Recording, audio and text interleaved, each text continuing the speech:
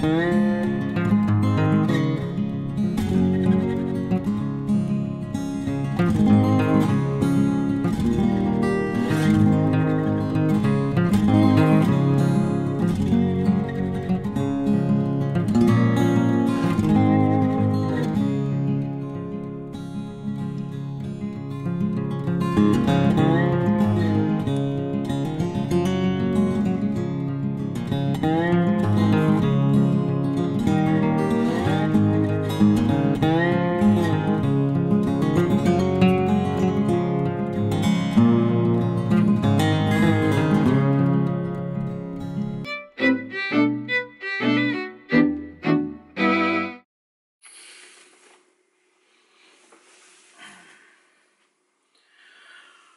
Well, in the episode on our daughter learning Chinese, uh, Lillian talked a lot about the benefits of learning a second language in general, whether it be working the memory muscles of the brain or in, um, instilling critical thinking skills through the adoption of grammatical abilities, uh, or lastly, via the adoption of cultural values through the learning of a language um, through the literature of that language. So she gave the example of Latin. When you learn Latin, you learn it through the greats like Cicero or uh, Livy or Caesar. And in those books that you learn, that you read in order to learn Latin, are the cultural payload of, of Rome, the, the adoption of virtues of bravery, of courage, daring, sacrifice, etc.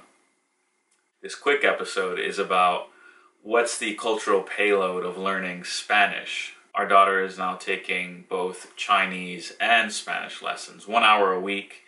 She goes for one hour and whatever she's taught in that one hour, Lillian and I then reinforce in the time in between for the next lesson. Dibujemos una niña. Sí.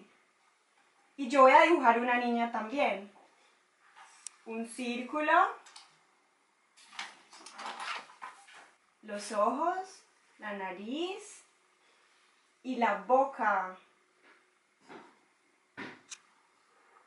Is that the hair? Yeah. El pelo. ¿Y la niña está feliz o está triste? ¿Feliz o triste? ¿Está feliz? Eh, ¿Sí? ¿Está feliz? Cabello.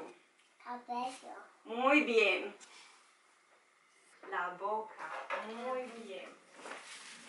Unlike in English, Spanish has a sweetness to it in that there are a lot of modifications to words that constitute uh, diminutives or um, the making of little things out of big things. So my my name is Felipe, but as a child my name was Felipito.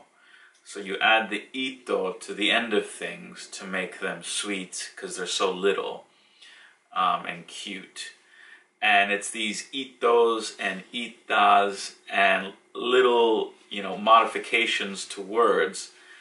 Um, that's just one example but that make the spanish language um, a sweet language a, a language of, of family closeness a language that um, nurtures and and and builds close relationships. Now i don't know you know there, there are other examples and maybe and i'm not saying that other languages can't bring that to bear but i think the the way in which spanish is used um, in daily life i'm not talking about literature but just in daily life it brings to bear a level of sweetness and it builds a level of closeness between family members. And i want our daughter to carry that on ¿Cómo se llama este color? Rosada. Muy bien. Vamos a dibujar un triángulo para hacer una casa. ¿Sí? El triángulo es una línea, otra línea Y otra línea.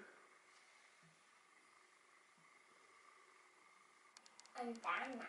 Ventana. A window. Un- Una ventana. Se llama negro. Negro. Muy bien. ¿Cómo se llama? Un ángulo. El triángulo. Triángulo. Triángulo. Círculo. Círculo. Muy bien. Cuadrado. Cuadrado. ¿Cómo se llama la vocal azul? A. A. ¿Cómo se llama la vocal verde? E. E. Y la vocal negra. I. Y muy bien. Negro. Este es el color negro. Con el color negro vamos a dibujar el número 5.